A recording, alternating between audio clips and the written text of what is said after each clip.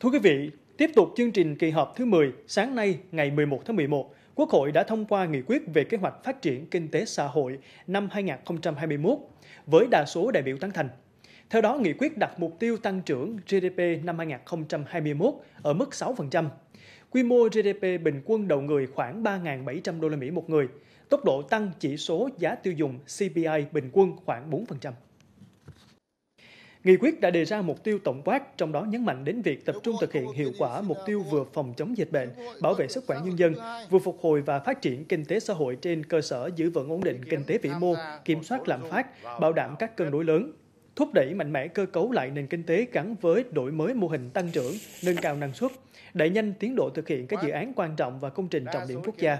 Năm 2021, nghị quyết đề ra một số chỉ tiêu cụ thể, Cụ thể, tổng sản phẩm trong nước GDP tăng khoảng 6%, quy mô GDP bình quân đầu người khoảng 3.700 đô la Mỹ một người, tốc độ tăng chỉ số giá tiêu dùng CPI bình quân khoảng 4%, tỷ trọng đóng góp của năng suất các nhân tố tổng hợp vào tăng trưởng khoảng 45 đến 47%, tốc độ tăng năng suất lao động xã hội khoảng 4,8%.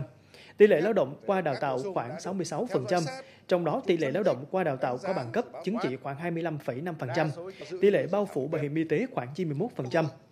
Để thực hiện được các mục tiêu này, Quốc hội đề nghị chính phủ và các cơ quan thực hiện 11 nhiệm vụ và giải pháp chủ yếu, trong đó triển khai thực hiện đồng bộ hiệu quả các chương trình, kế hoạch công tác đã đề ra để tổ chức thành công Đại hội đại biểu toàn quốc lần thứ 13 của Đảng, bầu cử Quốc hội khóa 15 và bầu cử đại biểu Hội đồng Nhân dân các cấp nhiệm kỳ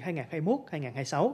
đẩy mạnh hoàn thiện thể chế kinh tế thị trường định hướng xã hội chủ nghĩa, phục hồi và thúc đẩy tăng trưởng nhanh, bền vững trên cơ sở dư vững ổn định kinh tế vĩ mô, kiểm soát lạm phát, bảo đảm các cân đối lớn của nền kinh tế, củng cố quốc phòng, an ninh, dư vững an ninh chính trị, trật tự an toàn xã hội, v.v.